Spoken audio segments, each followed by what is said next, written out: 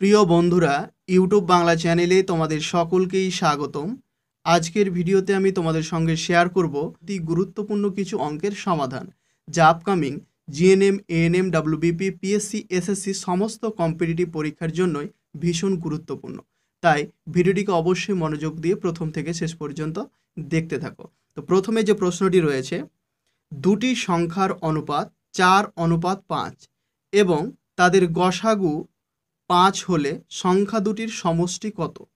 তো এই অঙ্কটি আমরা দশ সেকেন্ডে সমাধান বের করতে পারি। কি করে? চলো বন্ধুরা, দেখে নেওয়া যাক। প্রথমে আমরা সংখ্যা দুটির অনুপাতের সঙ্গে গসাগু গুণ করব। প্রথম সংখ্যার অনুপাত রয়েছে চার। চার অনুপাত পাঁচ। গসাগু পাঁচ। তো চার পাঁচে কুড়ি। দ্বিতীয় অনুপাত রয়েছে পাঁচ। অনুপাত গসাগু রয়েছে পাঁচ। পাঁচ গুণ করব। পাঁচ পাঁচে পঁচিশ। এবারে এখানে চেয়েছে সংখ্যা দুটির সমষ্টি কত? আমরা সংখ্যা দুটি পেয়ে গিয়েছি। এবার আমরা দুটোকে যোগ করে নেব। পাঁচ, দুই দুয়ে চার, পঁয়তাল্লিশ। তো সঠিক উত্তর হলো অপশন এ, পঁয়তাল্লিশ। এবারে আমরা দেখে নেব যে সংখ্যা দুটি কুড়ি এবং পঁচিশ, অনুপাত চার এবং পাঁচ এবং গসাগু পাঁচ হচ্ছে কি না তার ক্যালকুলেশন তো সংখ্যা দুটি কুড়ি এবং পঁচিশ আমরা পেয়েছি। এর যদি আমরা গসাগু বের করি, তাহলে হবে পাঁচ দিয়ে চার পাঁচে কুড়ি, পাঁচ পাঁচে পঁচিশ। তাহলে পাঁচ গসাগু আমরা পাঁচ গসাগু পেয়ে গিয়েছি। এবার আমরা দেখে নেব যে কুড়ি এবং পঁচিশের অনুপাত, চার অনুপাত পাঁচ হচ্ছে কি না তো কুড়িকে যদি আমরা চার দিয়ে চার পাঁচে কুড়ি, চার, পাঁচ দিয়ে পাঁচ পাঁচে পঁচিশ, চার অনুপাত পাঁচ। তাহলে আমাদের সঠিক উত্তর হলো অপশন এ, পঁয়তাল্লিশ। এটুকু বন্ধুরা করার কোনো প্রয়োজন নেই। বোঝানোর জন্য আমি এটুকু তোমাদের করে দেখালাম। এবারে আমরা দেখে নেব নেক্সট যে প্রশ্নটি রয়েছে। দুটি সংখ্যার গসাগু বারো এবং তাদের অনুপাত তিন অনুপাত পাঁচ হলে সংখ্যা দুটির গুণফল কত? এর আগে আমরা যে অঙ্কটি সমাধান করলাম, সেখানে চেয়েছিল সংখ্যা দুটির সমষ্টি। এখানে চেয়েছে সংখ্যা দুটির গুণফল। তো প্রথমে আমরা সংখ্যা দুটিকে বের করে নেব। এই অঙ্কটি দশ সেকেন্ডের মধ্যে আমরা সমাধান করে নেব। প্রথম যে অনুপাতটি রয়েছে, সেই অনুপাতের সঙ্গে আমরা গসাগু গুণ করব। তিন অনুপাত বারো, তিন ব্রাং ছত্রিশ। দ্বিতীয় যে অনুপাতটি রয়েছে, পাঁচ পাঁচ গুণিত গসাগু বারো, পাঁচ ব্রাং ষাট। তো সংখ্যাটি আমরা পেয়ে গেলাম ছত্রিশ এবং ষাট। এদের এবারে আমরা যেহেতু গুণফল চেয়েছে, সেহেতু আমরা গুণ করে নেব। শূন্য শূন্য গুণিত ছয় ছয় ছত্রিশে ছয়, তাতে থাকে তিন। তিন ছয় আঠারো আঠারোর তিনে উনিশ কুড়ি একুশ।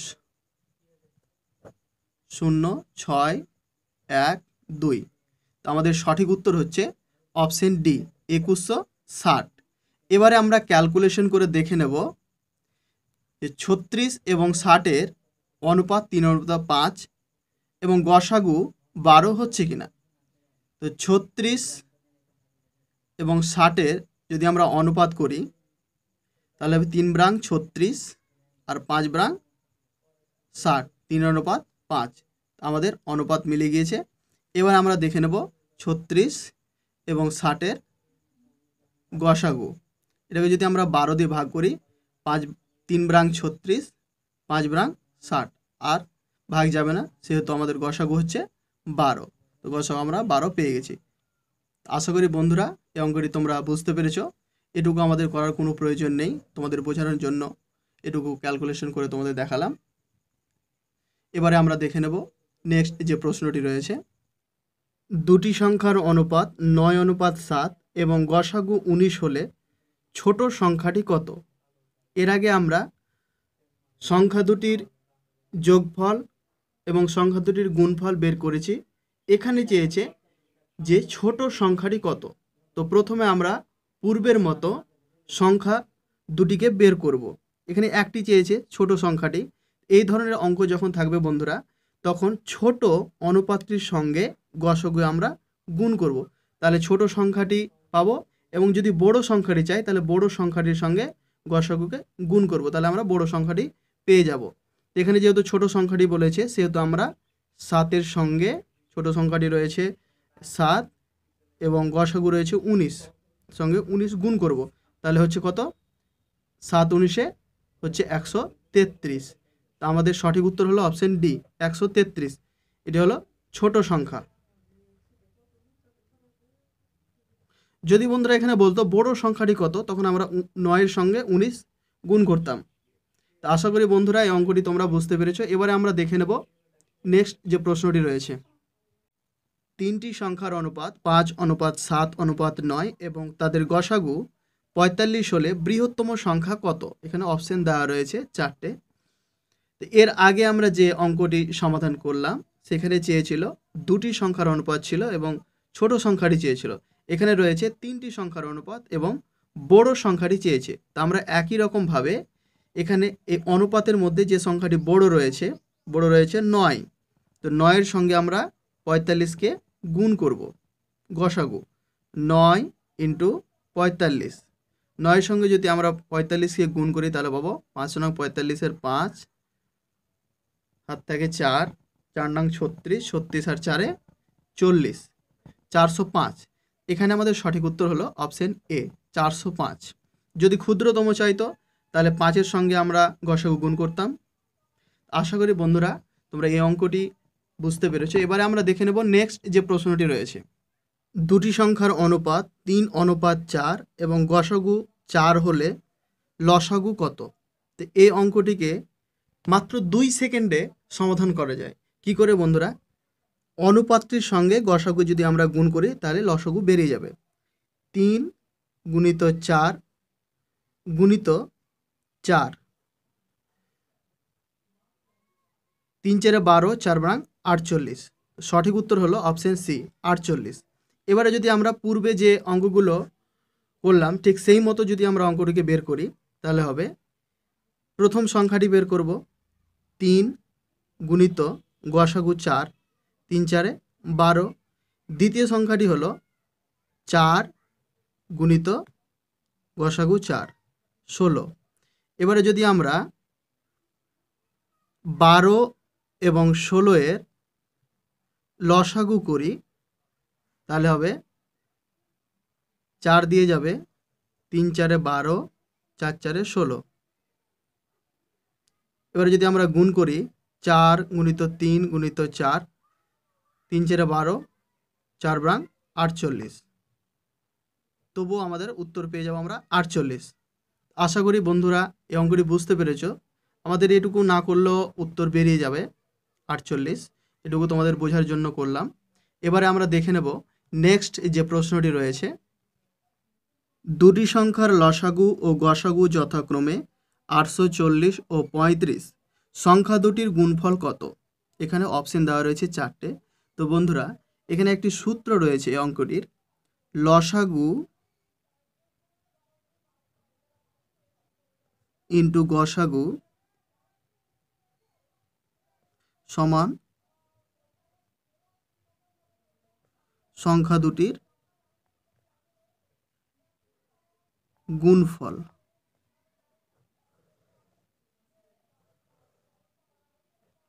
এখানে লসাগু এবং গসাগু দেওয়া রয়েছে।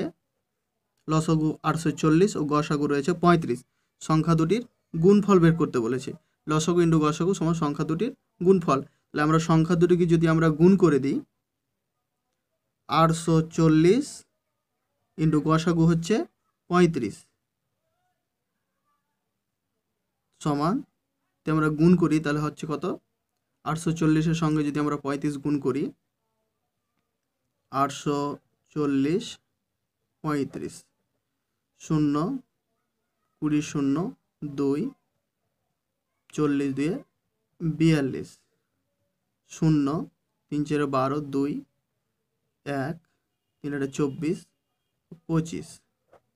শূন্য শূন্য, চার, নয়, দুই। উনত্রিশ হাজার চারশো। উনত্রিশ হাজার চারশো। এখানে সঠিক উত্তর হলো অপশন এ, উনত্রিশ হাজার চারশো। আশা করি বন্ধুরা, এই অঙ্কটি তোমরা ভালোভাবে বুঝতে পেরেছ। এরপরে আমরা দেখে নেব নেক্সট যে প্রশ্নটি রয়েছে। দুটি সংখ্যার লসাগু ও গসাগু যথাক্রমে তিনশো পনেরো এবং সাত। একটি সংখ্যা পঁয়ত্রিশ হলে অপর সংখ্যাটি কত? এখানে অপশান দেওয়া রয়েছে অপশন এ পঞ্চান্ন, অপশন বি রয়েছে তেষট্টি, অপশান সি রয়েছে বিয়াল্লিশ এবং অপশন ডি রয়েছে একশো পাঁচ। এই অঙ্কটি আমরা যেভাবে সমাধান করব, পূর্বে যে অঙ্কটি করলাম লসগু ইন্টু গসগু সমান সংখ্যা দুটির গুণফল, যে সূত্রটি প্রয়োগ করেছি, সেই সূত্র দিয়ে লসাগু ইন্টু গসাগু সমান সংখ্যা দুটির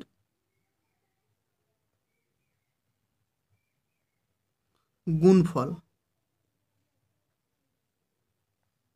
এই সূত্রের মাধ্যমে আমরা এই অঙ্কটির সমাধান করব। ধরি অপর সংখ্যাটি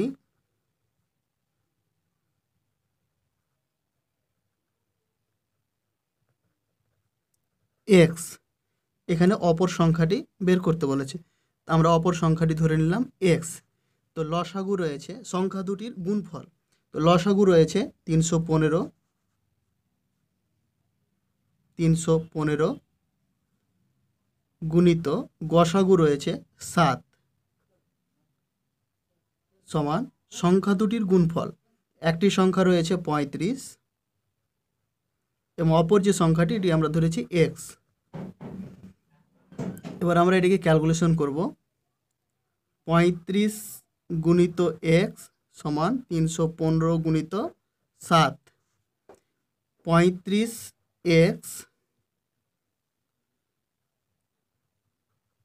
সমান তিনশো পনেরো গুণিত সাত। এক্স সমান তিনশো পনেরো গুণিত সাত বাই পঁয়ত্রিশ। সাত দিয়ে যদি আমরা কাটি, পাঁচ সাতে পঁয়ত্রিশ। এবারে যদি আমরা এটাকে পাঁচ দিয়ে কাটি, তাহলে হবে পাঁচ ছয় ত্রিশ, তিন পাঁচে পনেরো, তেষট্টি। এক সমান হচ্ছে আমাদের তেষট্টি। তো অপর সংখ্যাটি অর্থাৎ অপর সংখ্যাটি হলো অপর সংখ্যাটি হলো তেষট্টি। অ্যান্সার এখানে সঠিক উত্তর হলো অপশন বি আশা করি বন্ধুরা আজকের এই গণিতের সমাধানগুলো তোমরা ভালোভাবে বুঝতে পেরেছ। যদি ভালোভাবে বুঝতে পেরে থাকো, তাহলে অবশ্যই ভিডিওটিতে একটি লাইক করবে, তোমাদের মতামত কমেন্ট বক্সে জানাবে। আর ভিডিওটি যদি তোমাদের হেল্পফুল বলে মনে হয়, অবশ্যই ভিডিওটি তোমাদের বন্ধুদের মাঝে শেয়ার করে তাদেরও দেখার সুযোগ করে দেবে। আর চ্যানেলটিকে যদি তোমরা এখনও সাবস্ক্রাইব করে না থাকো, অবশ্যই সাবস্ক্রাইব করে দিয়ে পাশে থাকা ঘণ্টা বেল আইকনটিকে দাবিয়ে দাও। তাহলে পরবর্তীতে আমি যে সমস্ত ভিডিও আপলোড করব, তার নোটিফিকেশান তোমাদের কাছে পৌঁছে যাবে সবার আগে। তো প্রত্যেকে তোমরা সুস্থ থেকো, ভালো থেকো বাই